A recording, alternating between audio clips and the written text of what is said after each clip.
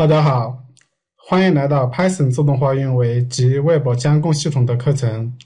上节课我们把所有的页面都全部已经完成了，这节课我们开始进入我们的编写测试。首先我们看一下 Django 它的一个测试的一个模板，看别人官方推荐我们怎么写，我们照着官方的写。看一下 Writing Test，一般我们会继承一个 Django 有一个副类叫 Test Case 的。看一下，首先我们也创建一个 class，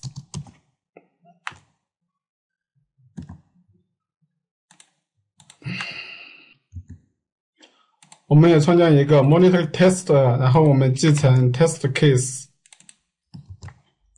哦，这个不是，我们也继承 Django 里面的 test case。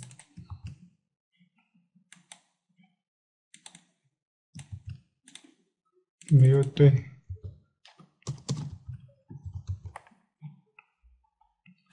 好，我们创建了一个类，看一下，他们第一步 setup 里面都是初始化一些数据，然后我们在这里面 init 里面写的，我们这个就是我们所有复测试的一个负类，我们把所有的数据都在这里面给它初始化出来。你看，我们看一下我们用的 test setting，我们采用的是保存到。内存数据库的，所以说不会保持那真实的数据库。我们首先第一步要创建出来，看一下我创建的这几个方法。我们首先要 init host app group history 还有 statics 这几个表的数据，我们要把它给初始化出来。我们看一下 host。我们创建了一个 create 的的一个方法，看一下。我们比如说随便写一个幺九二点幺六八点二六点幺，OC local，多创建两个，二三，local 二 local 三随便写，还有 group。Group 点 create，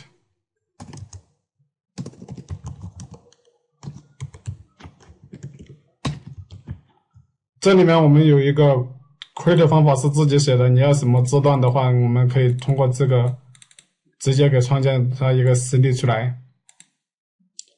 看一下 group，我们第一个那个优酷 display name 大写的 U。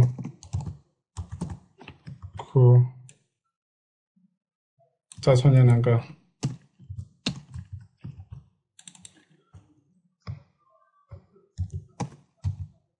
土豆，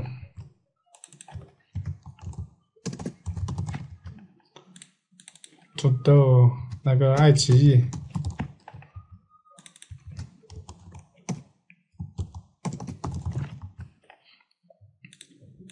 ，history，看一下我们 history。History 这个表，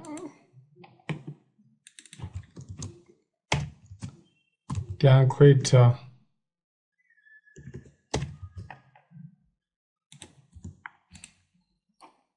好，我已经把这些测试的数据写好了，然后我们开始写我们真实的数据，真实的一个测试。首先，我们肯定要继承我们这个父类，因为我们要继承 test case，我做了一层封装嘛。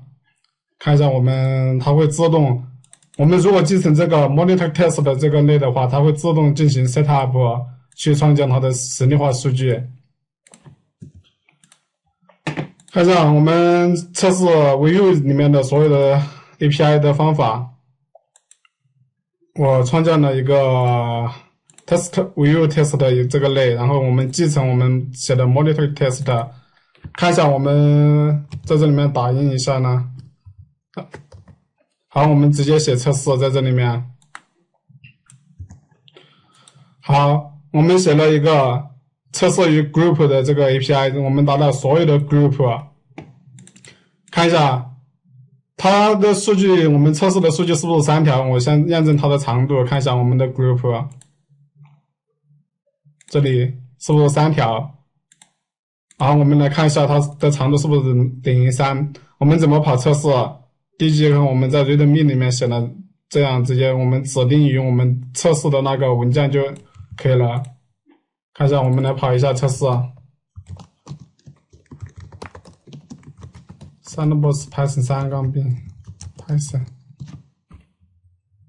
好，我们看成功了，我们的长度是三，是吧？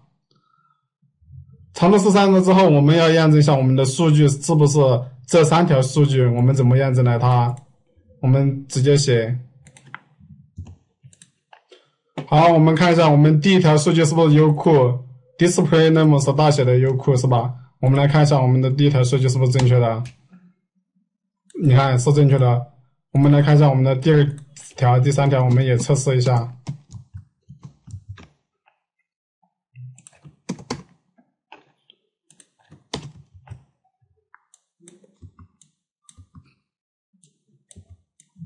第二条数据我们写的是土豆，大写的土豆，爱奇艺。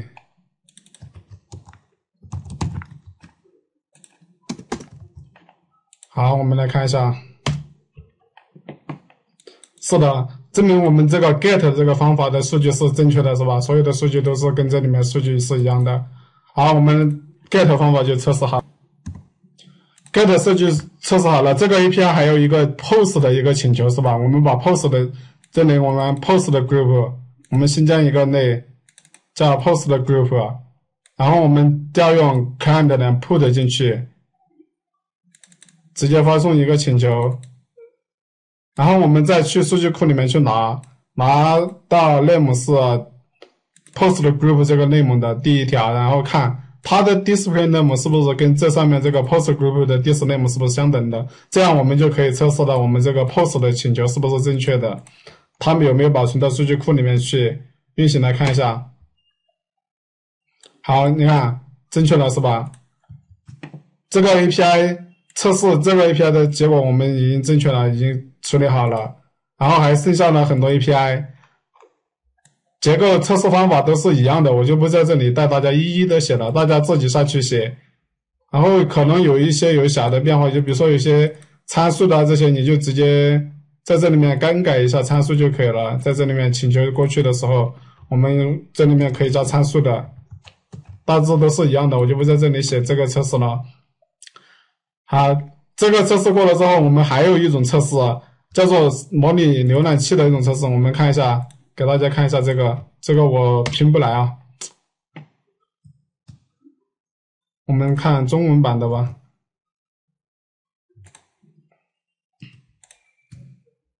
这种叫自动化测试，它会模拟浏览器去进行相应的一些操作来进行测试。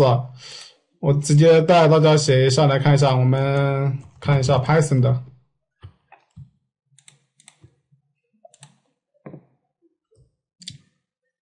我们直接 start 看文档，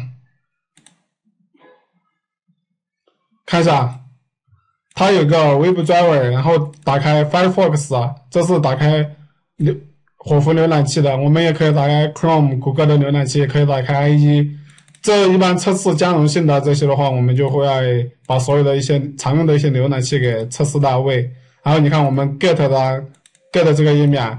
我们可以得到这个页面所有的东西。我们看到，我们这里判断的是它的是 title，就是这个 title 是不是相等的？好，我们来写一下。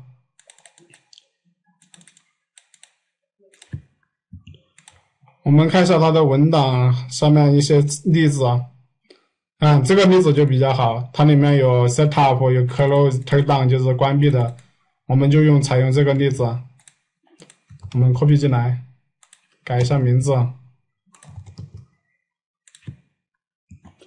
我们这里改成我们的，我们自己的零点零点零点零二三三二啊，看一下端口是不是二三三二。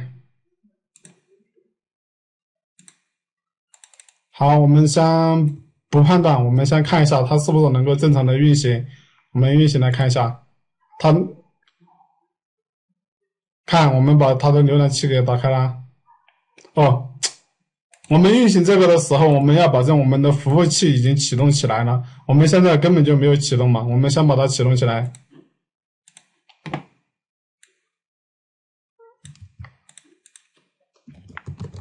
Sandbox Python 三，我们先把它运行起来。它它是模拟浏浏览器的一个操作，但是所以说服务我们要自动自己起起来。好，我们这次来看一下。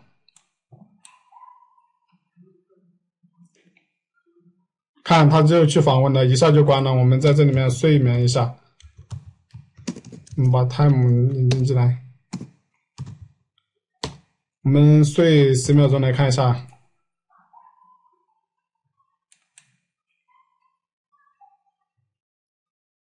看见没？我们在这里面可以模拟很多操作，点击这种啊，然后我们也可以在这里面设置啊，这些，它是很强大的一个功能，模拟我们人为的一些操作。我们看一下官网，看一下这里面有 send key，然后它是 find find element by name，翻我们可以翻翻得到那个输入框，然后我们就直接 send key，就是把我们想要的数据给复制到这里来。啊，我们直接给你写一下，我们先测试它的 title 是不是正确的。看一下我们的 title 叫什么 monitor 是吧？我们看一下这是不是正确的？嗯。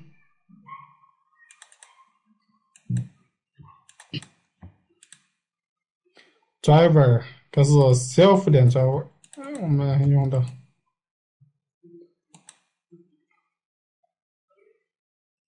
看，它在睡眠五秒钟，正确的，我们跑了一个测试，是吧？它自动把浏览器给关了。好，我们去打开一下，我们要把这个输入框里面输入值，是吧？我们看一下我们是怎么得到的。我这里面有个 ID，所以说我们就通过 ID 来去得到它。看这里面有方法，by name 肯定有一个 by ID 的。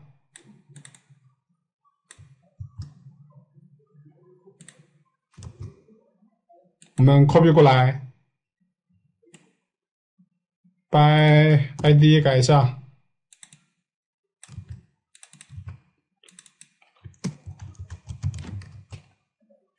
还有，它有一个方法叫做 send key。我们去 filter 哪一个数据呢？我们看一下，这里面有 test 六，我们去得到 test 六吧。这个不用返回过来。好，我们跑来看一下，这里面我们在得到六的时候，我们在睡眠五秒钟看一下效果。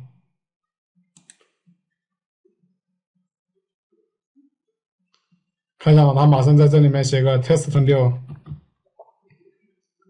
看见没？好，我们这个页面上没有其他更多的一个操作，我们就。不去操作其他的，我们就直接点它的，点这个到 Manager 页面，我们怎么得到这个？看一下，它有一个，它有个内蒙叫做 Operation，我们去得到它。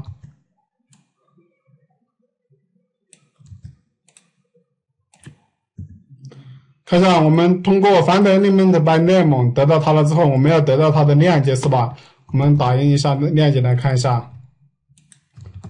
它的链接是不是指向 text 六？text 六是多 ID 是多少？我们看是四七是吧？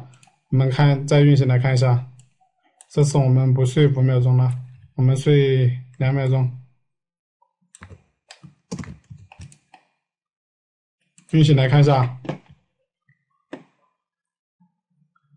马上 text 六啊，它马上会打一个 URL 出来，你看是是不是七 ID 为七的这个？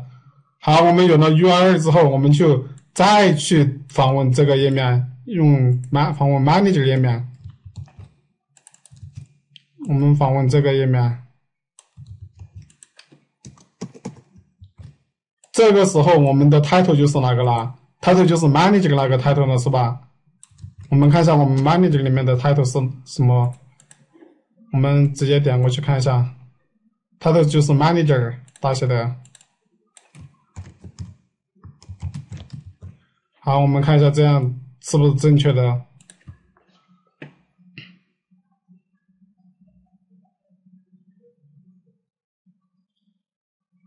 你看他自己就过来了，然后测试正确了。哦，写错了是吧？M A N G R，哦，我那里面写错了。